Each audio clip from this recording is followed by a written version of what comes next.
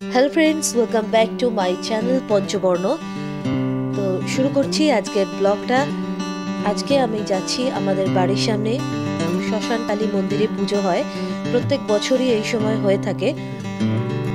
প্রতি বছরই রাস উৎসবের পনেরো দিন বাদে থেকে এই পুজো অনুষ্ঠিত হয় এবং পুজো উপলক্ষে মেলাও বসে এখানে।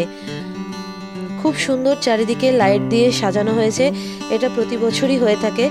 শুধু গত দু বছর ধরে করোনার কারণের জন্য এই আয়োজন কিছুটা কম ছিল। কিন্তু এবছর আবার সেই পুরনো ধারায় আয়োজন করা হয়েছে এবং সুন্দরভাবে রাস্তাঘাট আলো দিয়ে সাজানো হয়েছে এবং মন্দিরটিও নতুন করে সংস্করণ করা হয়েছে। তো চলো বন্ধুরা, আমরা মন্দিরের দিকে যাই। গিয়ে মাকে দর্শন করি এবং কি সুন্দরভাবে মন্দিরটা সাজিয়েছে সেটাও দেখি এবং মেলাটা কীরকম হচ্ছে সেটা দেখি।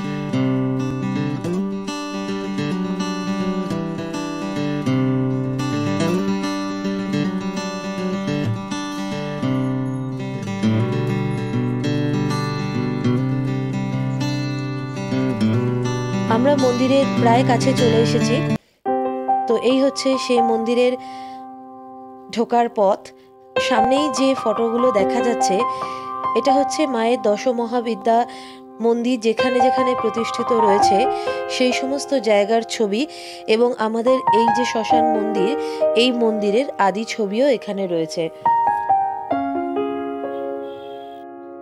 মন্দিরের পাশ থেকেই বয়ে গিয়েছে নোয়াই খাল, যে খালটি গঙ্গার সাথে যুক্ত রয়েছে। এবং এই যে ছোট ছোট মন্দিরগুলো দেখা যাচ্ছে, মায়ের দশ মহাবিদ্যা মূর্তি প্রতিষ্ঠা করা রয়েছে, এবছর এটি নতুন করা হয়েছে। প্রত্যেক বছর এখানে মণ্ডপ করা হয় এবং মণ্ডপে মায়ের দশ মহাবিদ্যার মূর্তি, মাটির মূর্তি পুজো করা হয়। কিন্তু এবছর একেবারে মন্দির করে বাঁধিয়ে দেওয়া হয়েছে এবং পাথরের মূর্তি প্রতিষ্ঠা করা হয়েছে। সত্যিই খুব সুন্দর লাগছে দেখতে। সুন্দরভাবে মন্দিরগুলো বাঁধিয়ে দেওয়া হয়েছে এবং মায়ের যে দশমহাবিদ্যা রূপ এখানে রয়েছে সেটা দেখার মতো। আগে এখানে মাটির মূর্তিগুলো বসানো হতো এই একই জায়গায় বসানো হতো, প্যান্ডেল করে শুধু এবং মাঝখানে মহাদেবের মন্দিরও করা হয়েছে।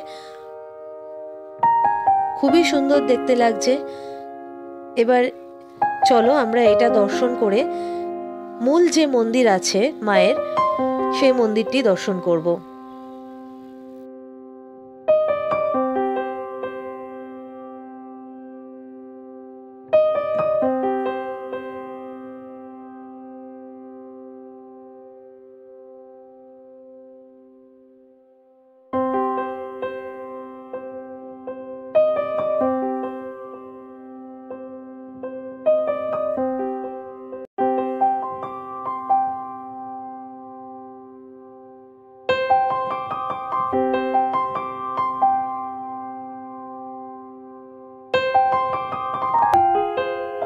সামনে দেখা যাচ্ছে মূল মন্দিরটি।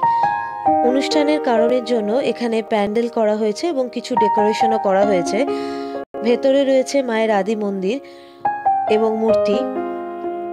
এখানে মা পঞ্চমুণ্ডির আসনের ওপরে রয়েছেন, অবস্থান করছেন। মন্দিরের পেছনেই রয়েছে শ্মশান। আগে এখানে কাঠে দাহ করা হতো, বর্তমানে ইলেকট্রিক চুল্লির কারণে কাঠে দাহ করা বন্ধ রয়েছে। সমস্তটাই ইলেকট্রিক চুল্লিতে হয়। চলো বন্ধুরা, এবারে আমরা মূল মন্দিরের ভেতরে প্রবেশ করি।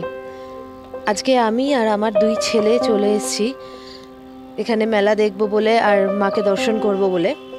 এদিন মায়ের পুজো অনুষ্ঠিত হয়, সেদিন প্রচুর ভক্তের সমাগম ঘটে এবং সারা রাত ধরে প্রচুর ভক্ত আসে এখানে মাকে পুজো দিতে।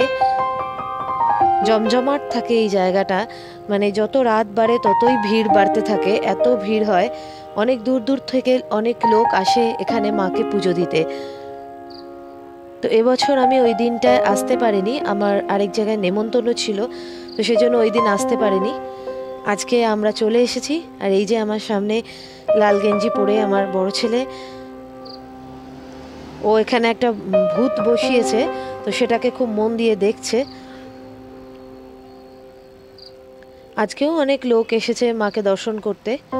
এই যে এই ভূতটা এই ভূতটা ওদের বড় আকর্ষণের জিনিস হয়ে দাঁড়িয়েছে। তো দুই ভাইতে খুব মন দিয়ে সেটা দেখছে। আর এই হচ্ছে মায়ের মন্দির। এই মূল মন্দির। আমি বেশি কাছে যেতে পারছি না, কারণ হয়তো ভেতর থেকে বারণ করতে পারে ক্যামেরা দিয়ে ভিডিও করতে। সেই জন্য আমি দূর থেকে আপনাদের দর্শন করাচ্ছি। তো মন্দির থেকে বেরিয়ে পড়েছি বন্ধুরা। এবারে হচ্ছে মেলা। সামনে ছোটোখাটো করে মেলা বসে। খুব বেশি বড় করা যায় না এখানে মেলাটা, কারণ রাস্তার মধ্যে আর যেহেতু বাজার, সেই জন্য এখানে মেলাটা খুব বেশি বড় করে হয় না। মোটামুটি হয় আর কি। রাসের মেলাটা যতটা বড় করে হয়, সেরকম বড় করে এখানে হয় না।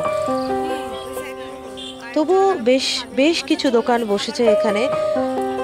খেলনা দিয়ে, বাচ্চাদের খেলনা, বিভিন্ন রকম রকমারি দোকানপাট সব কিছুই বসেছে, বাচ্চাদের চড়ার জিনিসপত্র খাবার দাবারের দোকান ইত্যাদি, নানা রকম জিনিসের দোকান আর কি, সবই বসেছে।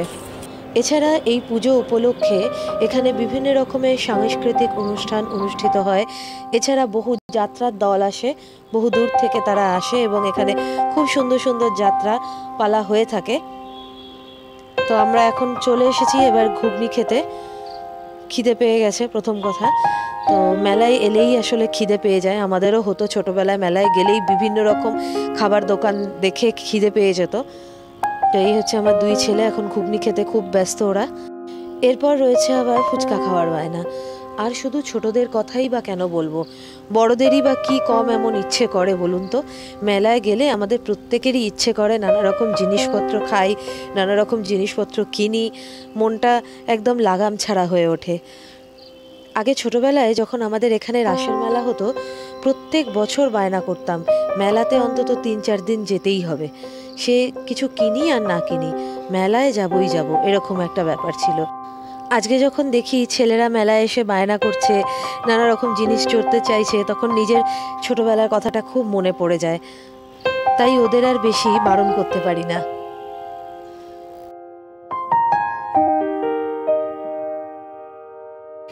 মেলা মোটামুটি আমাদের ঘোরা কমপ্লিট কারণ ছোট মেলা ঘুরতে বেশি সময় লাগেনি।